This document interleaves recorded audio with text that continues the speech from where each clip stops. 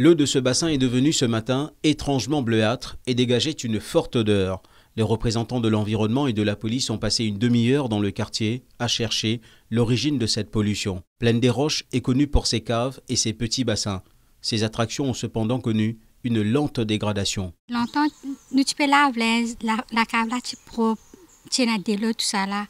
À ce ça de l'eau, l'usine, ça qui passait en bas, en bas là, tout malang à ce Pas qu'à rentrer même Les techniciens de l'environnement ont découvert à 800 mètres de la zone polluée un puits où les matières toxiques se trouvaient en forte concentration.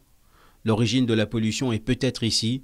La police et les officiels de l'environnement se sont rendus à l'usine voisine, Palmar Limited, fabricante de jeans. Nos efforts pour entrer en contact avec la direction de l'usine, ce matin et dans l'après-midi, sont restés sans réponse.